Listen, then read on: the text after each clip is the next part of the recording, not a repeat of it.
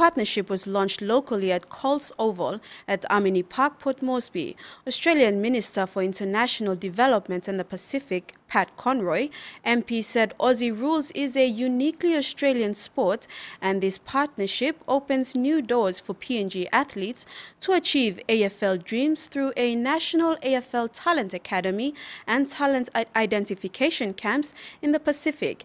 Ekonia Peni, AFL PNG Development's chairman, said strengthening the AFL's PNG development pathway from grassroots through Smart Start Niukick programs to the AFL in Australia is vital to the success of the game across PNG. Thanks for watching TVWAN News. Please like and subscribe and don't forget to hit the notification bell to stay up to date with the latest news.